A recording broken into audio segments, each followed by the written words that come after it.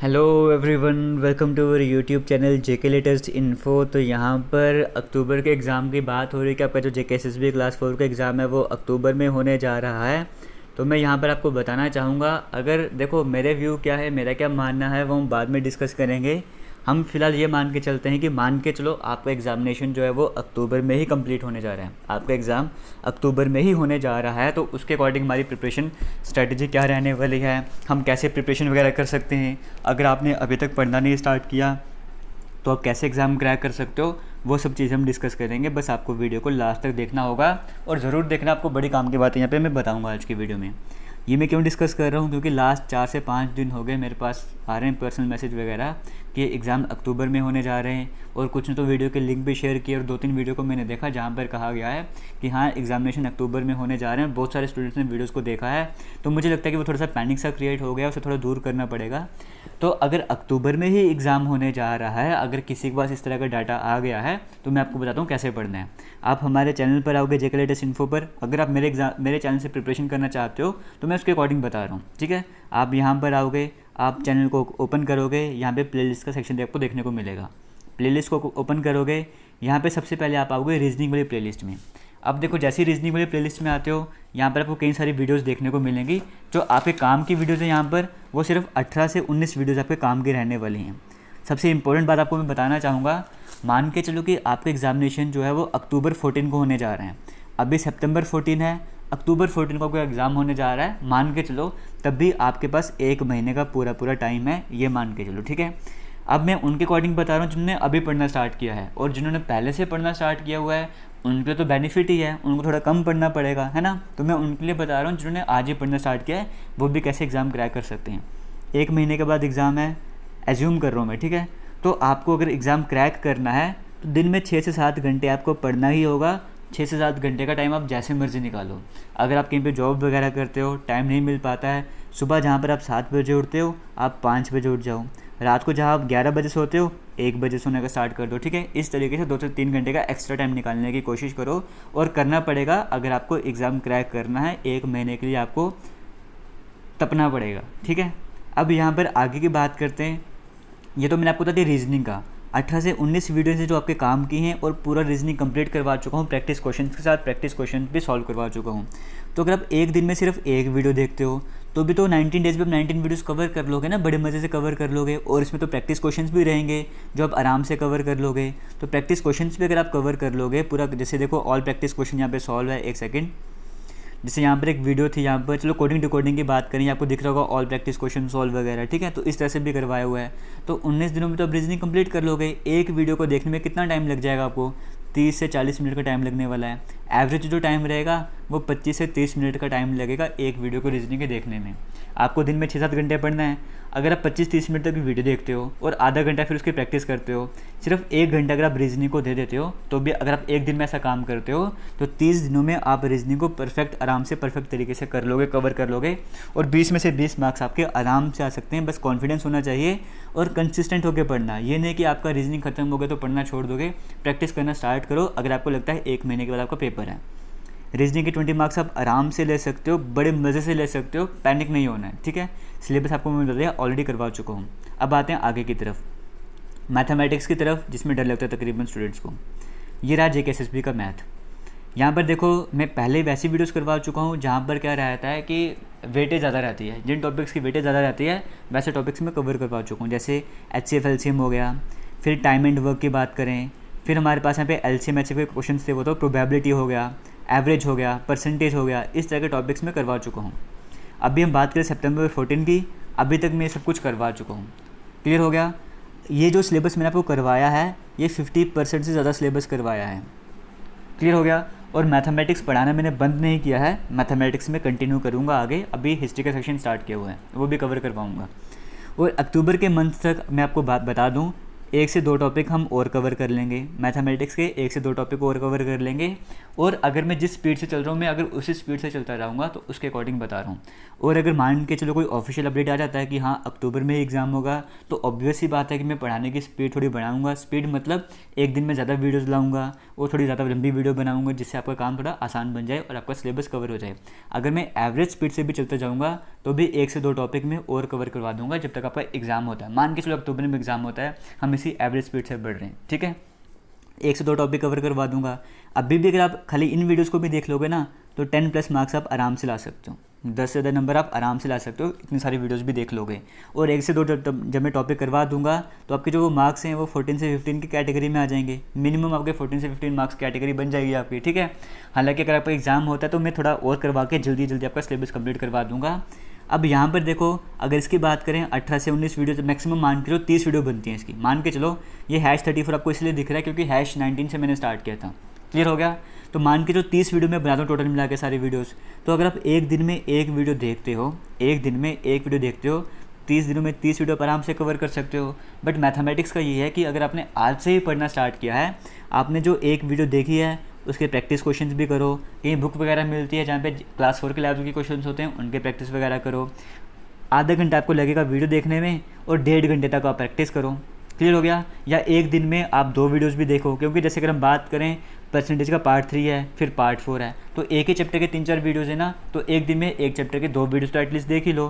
तो आपको टाइम थोड़ा कम लगेगा और प्रैक्टिस में ज़्यादा ध्यान दो। अगर एक दिन में मैथमेटिक्स के दो वीडियोज़ देखोगे, दोनों रिलेटेड ही हैं तो मान के चलो मैथमेटिक्स जो है वो अठारह से बीस दिनों में आप आराम से कंप्लीट कर लोगे और बाकी के दस दिनों में आप रिविजन करना स्टार्ट कर लो। वैसा काम भी आप कर सकते हो। तो मैथमेटिक्स के भी आपके ट्वेंटी मार्क्स में कन्फर्म करवा दूँगा। अगर आपका एग्ज़ाम अक्टूबर में ही होता है तो तब भी आपका ट्वेंटी मार्क्स कंफर्म करवा दूँगा। अगर आपका एग्जामिनेशन अक्टूबर में नहीं होता है तो भी अगर आपका एग्जामिनेशन अक्टूबर में नहीं होता है, हम इसी स्पीड से चलते जाएँगे तो भी आपका अक्टूबर तक फोर्टीन से फिफ्टीन मार्क्स का मैथ कंप्लीट करवा दूँगा बीस में से। अगर एग्जामिनेशन नहीं होता है तो फोर्टीन से फिफ्टीन फिफ्टीन मार्क्स का मैथ वगैरह कंप्लीट हो जाएगा। इतना क्लियर हो गया। बीस नंबर का मैं आपको रीजनिंग अभी कंप्लीट करवा चुका हूँ और इसी स्पीड से चलते जाएँगे। अगर एग्जामिनेशन नहीं होता है, इसी स्पीड से चलते जाएँगे तो भी पंद्रह पंद्रह नंबर तक आप मान के चल सकते हो कि मैथमेटिक्स कंप्लीट करवा दूँगा। थर्टी फाइव मार्क्स तक का मैंने कंप्लीट करवा दिया, ठीक है?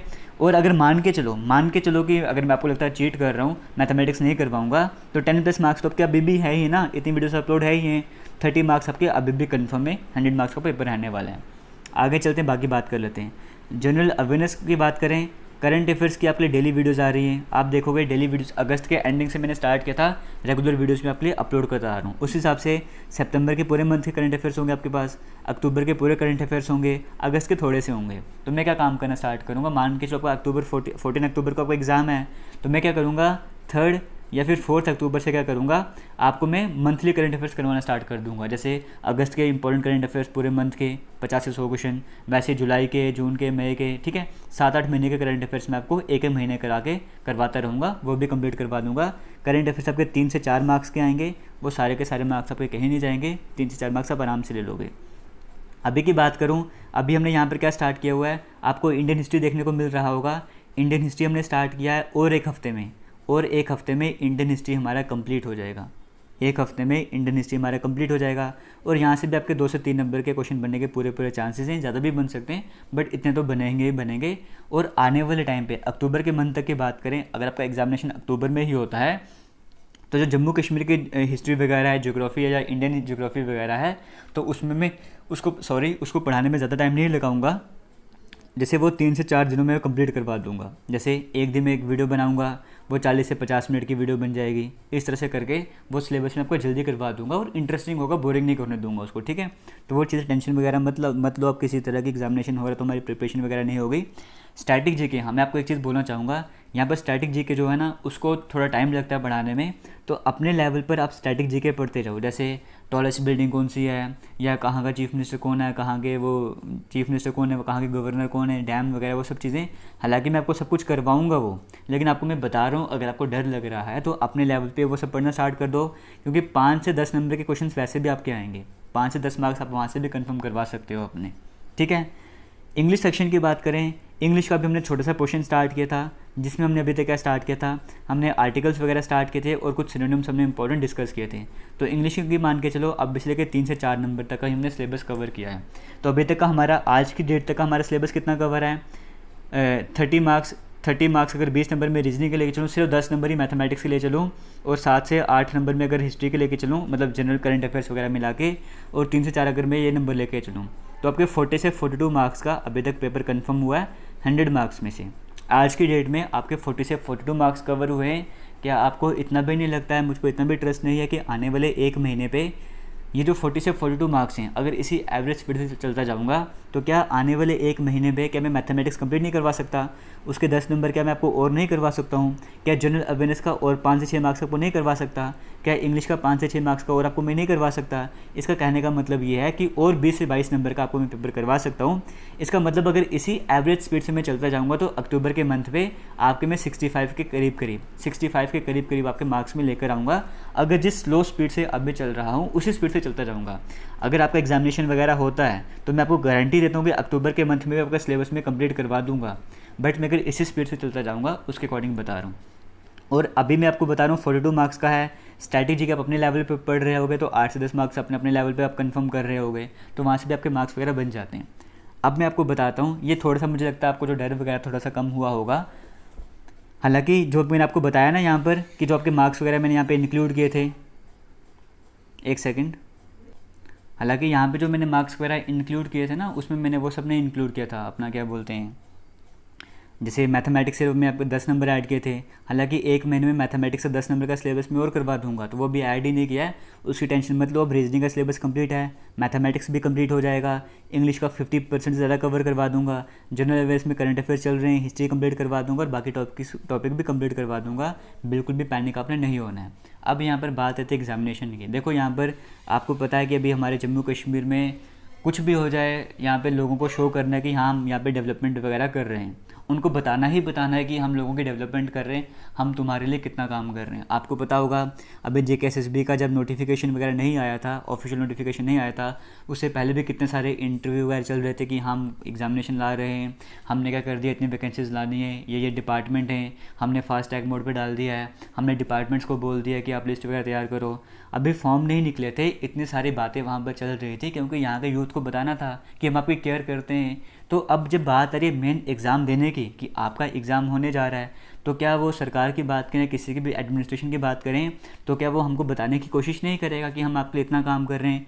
क्या वो एक ऑफिशियल अपडेट लेकर नहीं आएगा कि हम आपके लिए ये काम कर रहे हैं, हम आपके लिए इस तरह से काम कर रहे हैं, इतनी तारीख तक आपके एग्ज़ाम होने के चांसेस वगैरह हैं? अगर वो पहले शो कर रहे थे, जब फॉर्म नहीं निकले थे, अब जब एग्जामिनेशन डेट की बात हो रही है, क्या वो शो नहीं करेंगे? आपको नहीं लगता कि वो यूथ को बताना चाहेंगे कि हाँ हम आपके एग्ज़ाम वगैरह कंडक्ट करवाना चाहते हैं? पहली बात तो ये है। और दूसरी बात यह है कि अप्रॉक्सीमेटली तीन लाख के करीब करीब बच्चे हैं, जेके एसएसबी का भी एग्जामिनेशन होना है, इसका भी एग्जामिनेशन होना है ऑफलाइन एग्जामिनेशन होना है। अभी आपको पता है कॉलेजेस वगैरह में भी एग्जामिनेशन वगैरह चल रहे हैं इग्नू के भी एग्जामिनेशन वगैरह होने हैं और पेपर आपके ऑफलाइन वगैरह चल रहे हैं। सेंटर भी तो चाहिए पेपर देने के लिए, या वैसे एग्जामिनेशन होते जाएँगे, वो भी पॉसिबल नहीं है, ठीक है? और कोरोना के केसेस आपको पता है कितने बढ़ते जा रहे हैं यहाँ पर।